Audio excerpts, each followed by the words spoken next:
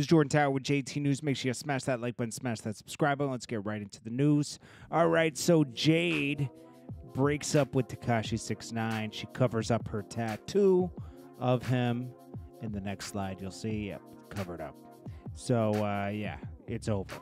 I don't know why, but hey, it is what it is. All right. Um, the kid's probably miserable. That's what it is. I, I was talking with somebody on Instagram earlier. They said he's probably miserable, and I was like, probably right. Probably is miserable. Probably no way a relationship could last in that. Um, shout out to Coffee Tea. Um, then we got Remy Ma. She says she never popped anyone, and she didn't even know the girl that uh, she went to jail over.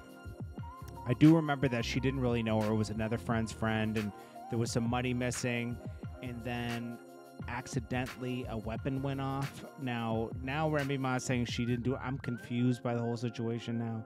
She did what seven years over that. I don't know, man. I'm confused because now she's just saying she never, almost like it never happened. I, don't, I don't know. Uh, Lil Yachty trolls YBN Nahmir for selling nothing. He said Soul Train is fire because everyone's saying that album sounds like Soul Train. Uh, what was and then YBN Nahmir reacted and said, "Not even gonna lie, this funniest stuff I said. I think funniest thing I've seen all year says it don't feel like. Is that the album? Everyone's saying it sounds like Soul Train, but then Lil Yachty reveals that it's April first, April Fools. Um, and then YBN Nahmir wants to relink with YBN Almighty Jay. He says, "I miss you, man." Of course, but before it was no more YBN, but now it's YBN again because he sold 4K the first week. Saweetie renews her uh, her deal with uh, Chappell Music. Was it Warner Chappell uh, publishing deal that gets extended?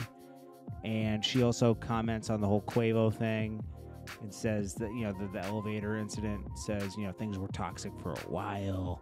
Uh, please leave me at peace during these hard times. Know, whatever. I mean, you know, it's dragging it out. And then lastly, we already talked about this, but uh, T.I. Tiny are facing more charges with more victims. Um, also, Michael Strahan, uh, he did not fix the gap in his teeth. Uh, it was an April Fool's joke. He just announced that. That was a good. That's probably the best April Fool's joke. Anyways, this is Jordan Tower with JT News. I'll check you guys in the next one.